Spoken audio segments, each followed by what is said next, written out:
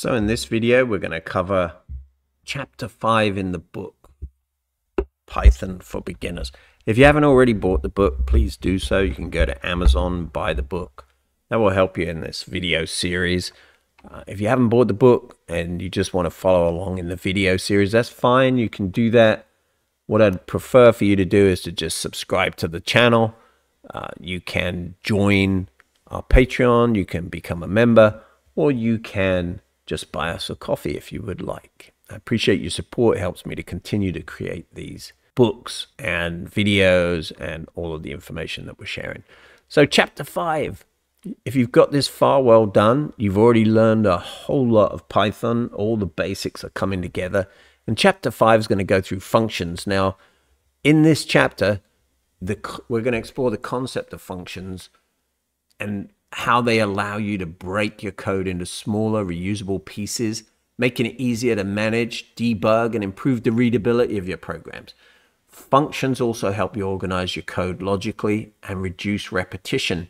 They're also very good for debugging. They help you to understand what's going wrong because you can get the function to tell you what it thinks you gave it, etc. So we're going to cover defining functions, how you create your own functions, calling functions, how you use functions to perform tasks, which you've already done, as I mentioned in the last chapter.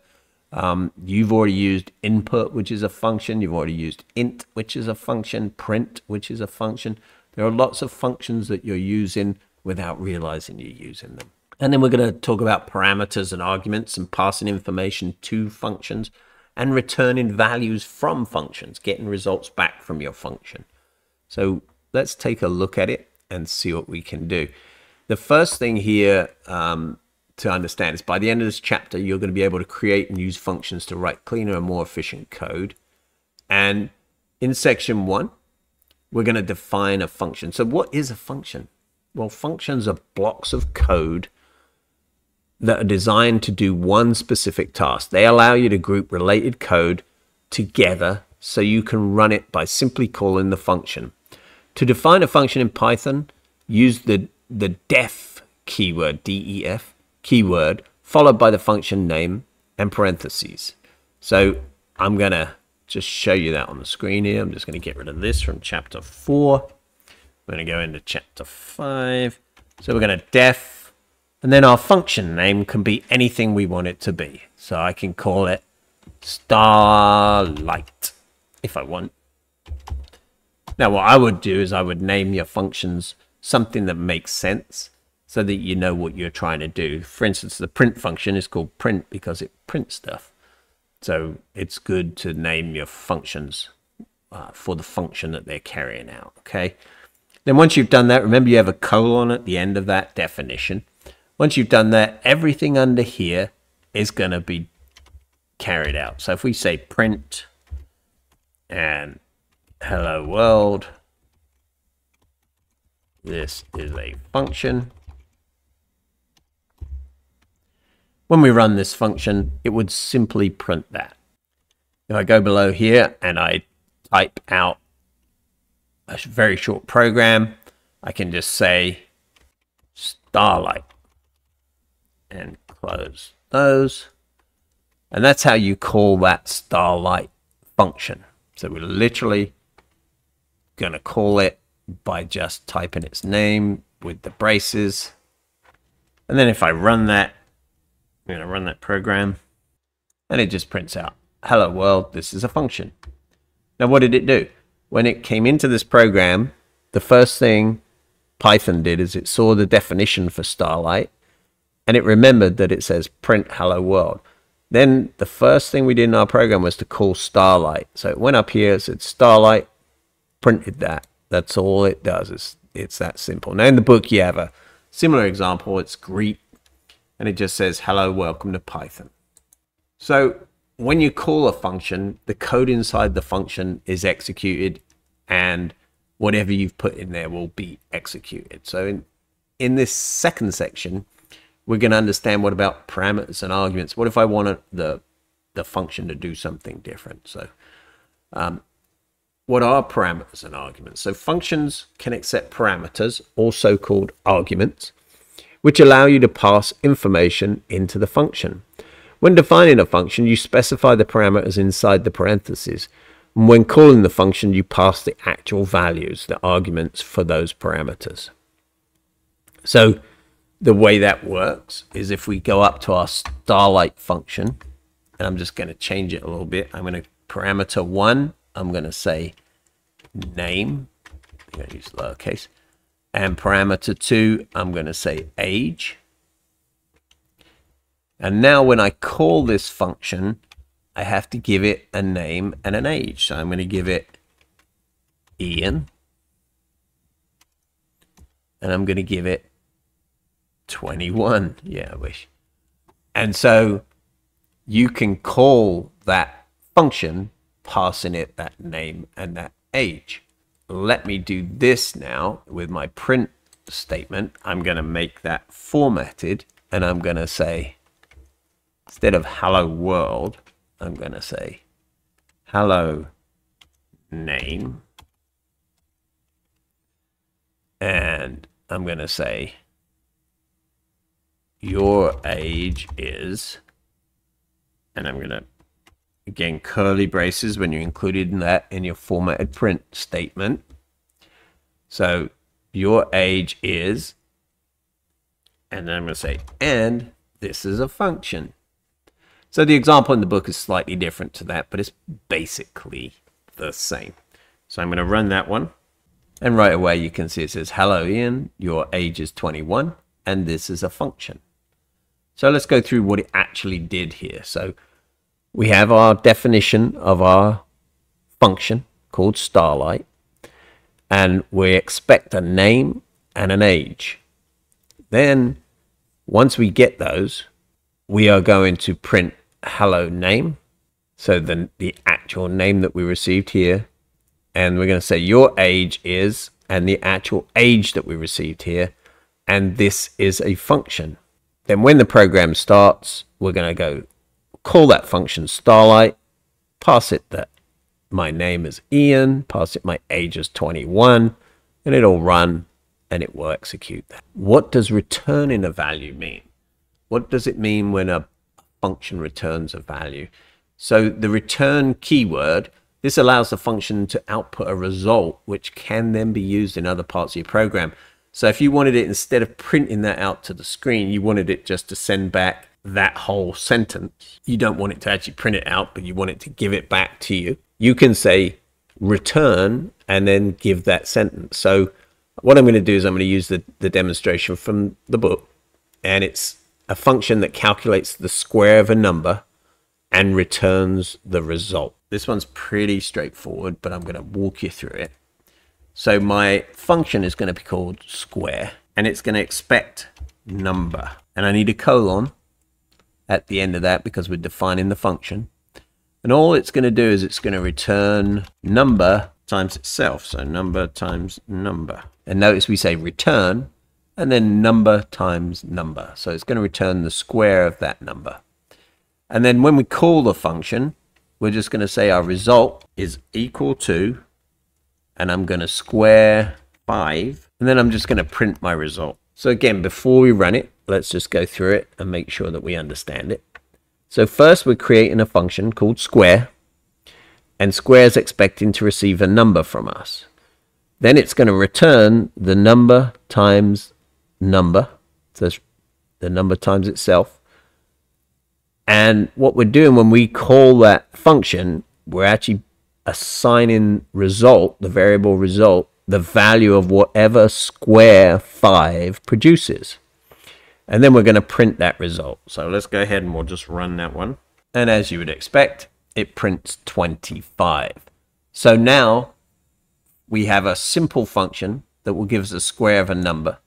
And I could call that many times. So I can say here, I'm going to do the second one. I'll say result equals square 7. And I'm just going to say print result.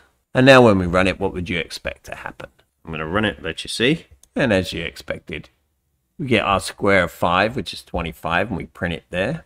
And then we get our square of 7, which is 49, and we print it there. So we can square any number with this because whatever number we send, is the number we're going to get square from.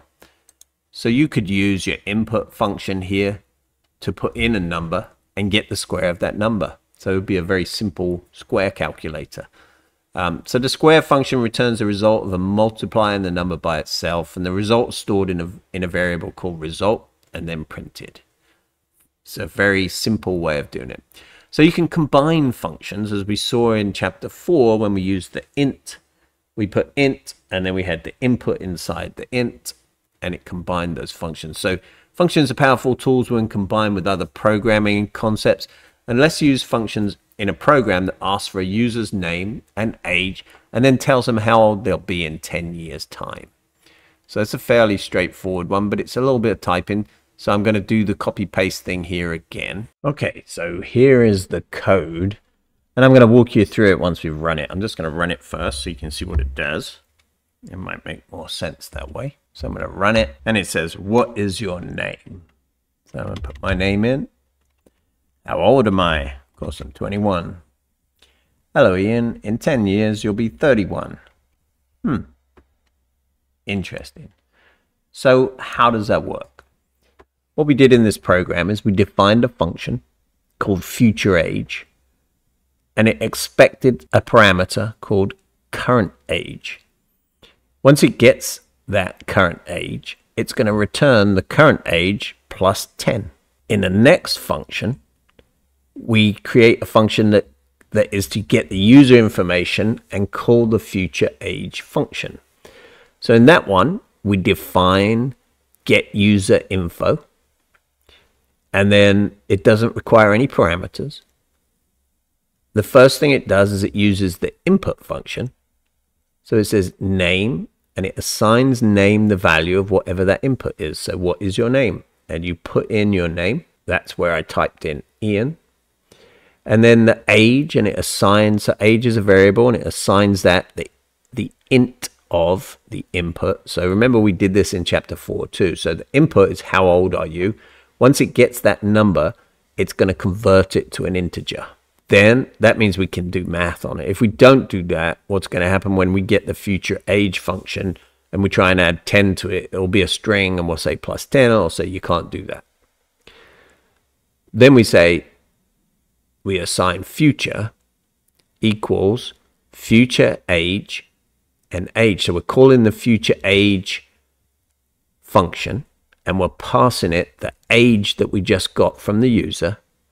And it goes up there and it returns the age plus 10. Now notice when I said future age and I passed it a variable of age, when it receives it into that future age function, the parameter is called current underscore age. So all it's done is it's taken whatever's in age and it's put it into current age and then it's returned current age plus 10. And then finally in that function, it prints the hello and it has the curly braces around name. So we're using the format statement in the print. So we print F outside the double quotes. Then hello, my name. So it's going to print that. In 10 years, you will be future because that's what we calculated it with, years old. And then finally, the last bit in the program is just calling the get user info function. So the first thing the program does is call the get user info function, doesn't pass any parameters. The get user info function asks the user for input then the get user info function calls the future age function.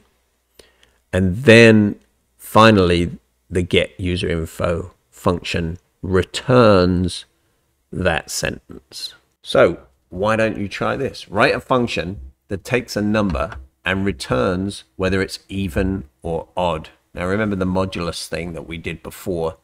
Um, that was how you decide whether it's even if you do a modulus 2 and the result is zero, it's going to be an even number, just to give you a hint. Go ahead and do that and see if you can make that make sense. I'd love to see your your solution. And if you're having struggles, just let me know and I'll provide you with a solution. Or you can let me know what your solution looks like. Now modify the program to allow the user to enter their favorite color and print a message using both their name and color. So finally, in this chapter, you learned how to define a function and create reusable blocks of code. You learned what parameters and arguments are and how to pass function uh, pass information to functions. You learned what the return is and how to return values, getting a result from a function. And then you learned about combining functions, how you can use them multiple functions together for more complex programs. So what I recommend when you create functions, try and keep the output simple. Try and keep the function simple and just use multiple functions. There's no limit on the number of functions, no practical limit on the number of functions you can use. And so you can create functions to do all of the small tasks and then bring them all together by calling each function. So with this knowledge, you can now start writing more modular and organized programs. The idea with this course is we're going to continue to use the things that we've learned earlier on, and we're going to continue to push the envelope and learn more as we go. If you've already read the book, you know exactly where we're going, and it's easy for you to keep up. These videos are just meant to augment the book, allow you to get a little more insight, and to give you a forum in which you can ask questions and find answers if you're enjoying the course and you've made it here to chapter five, I appreciate that. Please give us a thumbs up for the, the video. Share it with anybody that you can that you think should be looking at it. Um, the problem with with YouTube is if you don't get many views on a video, it won't get out there. So if you can help me with that, that would be great. You can always join our channel. There's a lot of other things on the channel. The Adventures in Creation is uh, basically anything that I create, anything that I like to create or make or do, I put on the channel. I'm heavily focused on FreeCAD because a lot of people want to know about that, but I do, I 3D print and create things all the time. I'm an avid woodworker and I also have a laser cutter that I do a lot of stuff with. I enjoy programming, always have. And so I'm just bringing all the things together so that you guys can benefit from them. Now, if you would like to just buy us a coffee, you can do that on ko-fi.com.